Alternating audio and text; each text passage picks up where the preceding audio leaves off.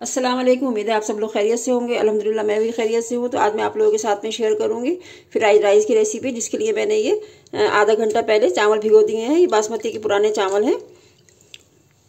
और ये एक गाजर मैंने काटी है बारीक बारीक मटर थोड़ी ली है, शिमला मिर्च, आलू और ये प्याज। अगर आप मेरे चैनल पर नए हैं तो आप मेरे चैनल को सब्सक्राइब करिएगा और मेरे वीडियो को लाइक करिएगा और कमेंट करके ज़रूर बताइएगा कि आपको मेरी रेसिपी कैसी लगती है। मैं फ्राइड राइस बनाना स्टार्ट करती हूँ। मैंने गैस को ऑन कर दिया है। थोड़ा डालूँगी ऑयल। ऑयल गर्म हो गया है। डालूँगी इसमें ज़ीरा। ये दो तीन कलियाँ लहसुन की हैं, ये डालूँगी। कटी हुई बारीक बारीक अदरक। अब इसको थोड़ा थोड़ा गोल्डन कर लूँगी, लहसुन को अदरक को। फिर इसमें जो मैंने सब्ज़ियाँ काटी हैं, वो फ्राई करूँगी। मतलब इसी में भून लूँगी तेल में। इसमें लहसुन का और अदरक का फ्लेवर बहुत अच्छा आता है फ्राइड राइस में। मैं इसमें डालूँगी सब्ज़ियाँ जो मैंने काटी थी। हमें ज़्यादा गोल्डन नहीं करना है, लहसुन और ये अदरक, बस हल्की प्यादी प्यादी करना है। अब मैं इसमें सब्ज़ियाँ डाल दूँगी, भूनते हुए गल जाएँगी और फिर बाद में इसको खूब गला लूँगी।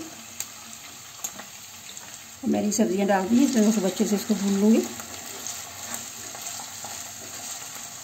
ये मैं सब्जियों के हिसाब से नमक डालूँगी, आधा चम्मच, बाकी डालूँगी चावल डालने के बाद में। अच्छा क्या है ना, मैं कच्चे चावल के मतलब फ्राइड राइस बनाऊँगी। मैं चावल बॉईल करके नहीं बनाऊँगी। आप देखिएगा, बहुत आसान तरीके से। उसको बॉईल कर रहे हैं, छान रहे हैं, बहुत लंबा हो जाता है। और बहुत टेस्टी बनते हैं कच्चे चावलों के फ्राइड राइस देखिए, ये सब्ज़ी को बच्ची से भुन गई है गल भी गई है। जो बाकी बचेगी वो चावलों के साथ निकल जाएगी। अब मैं इसमें एक चम्मच डालूँगी सोया सॉस। थोड़ा सा मैं इसमें विनेगर डालूँगी, एक दो चम्मच। इसका फ्लेवर बहुत अच्छा आता है। अब इसको मिक्स कर देंगे।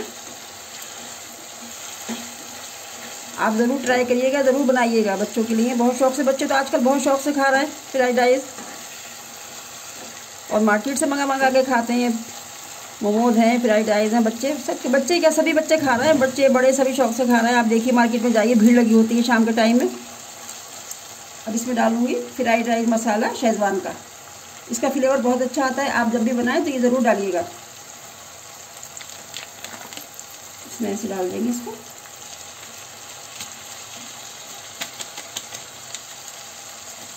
अब इसको अच्छे से मिक्स कर लूँगी। तो अच्छे से मैंने इसे मिक्स कर लिया है। अब मैं इसमें डाल दूँगी पानी। इतना पानी डालना है कि मतलब चावल चावल हमारे खूब अच्छे से गल जाए।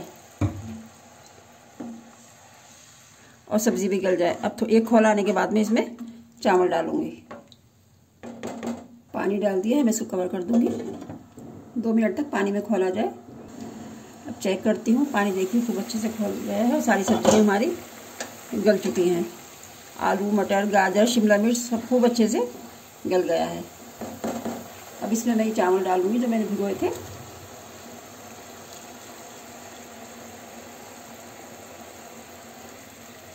मैंने चावल बॉईल करके नहीं बनाए हैं, मैंने कच्चे चावलों के फ्राइड राइस बनाए हैं। आप ज़रूर ट्राई करके देखिएगा। पानी कम है, पानी और पड़ेगा इसमें। पानी मैंने इसमें डाल दिया है, इसमें खूब अच्छे से चावल गल जाएँगे। अब हमें दोबारा पानी डालने की ज़रूरत नहीं पड़ेगी।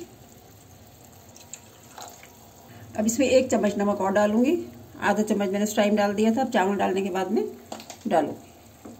इसको खूब अच्छे से मैं मिक्स कर दूँगी। इसको कवर कर दूँगी। अब चेक करके देखते हैं फिर राइस को। इतनी अच्छी खुशबू आ रही है, बहुत ज़्यादा अच्छी खुशबू आ रही है और बहुत अच्छे से। आप भी कच्चे चावलों की ट्राई करिएगा, कच्चे चावलों के बनाए बनाइएगा फ्राइड राइस बहुत अच्छे और बहुत आसान तरीके से कि उसको भिगो रहा है और उबाल रहा है और उसको छान रहा है, घंटे लग जाते हैं। इतने टेस्टी भी होते हैं और आसान तरीके से बन जाते हैं। अब मैं इसको दो मिनट के लिए और दम लगाऊँगी। अभी थोड़े ना इसमें कनी है, जिसको कहते हैं ना कनी। ये इसमें अभी थोड़ी सी कनी है, दो मिनट में ये कुछ सही हो जाएँगे। इसको कवर कर दूँगी, दो मिनट के बाद इसको चेक करूँगी। अब मैं चेक करती हूँ, हमारे फ्राइड राइस तैयार हो चुके हैं। बहुत अच्छी खुशबू आ रही है, बहुत अच्छी खुशबू है। देखिए कितने, कलर कितना अच्छा है और एकदम एकदम खिले खिले से। बिल्कुल। मार्केट से भी ज़्यादा अच्छे हैं, बहुत अच्छे आप बना कर देखिएगा। अच्छा ये ज़रूरी नहीं है कि जो मैंने सब्ज़ियाँ डाली हैं, आप यही डालें। आपके पास जो भी सब्ज़ियाँ घर में हो, मेरे पास ही घर में सब्ज़ियाँ रखी थी थोड़ी थोड़ी मैंने वही इसमें डाल दी हैं। अच्छा अगर आपके पास शेजवान मसाला नहीं है तो आप मैगी मसाला भी डाल सकते हैं इसमें, उसका भी टेस्ट बहुत अच्छा आता है। देखिए, एकदम खिले खिले से। अब मैं गैस को ऑफ़ कर दूँगी। और थोड़ा सा इसमें हरा धनिया डालूँगी, इसका भी फ्लेवर बहुत अच्छा आता है। और इसको मैं मिक्स कर दूँगी। अब मैं करूँगी इसको डिश आउट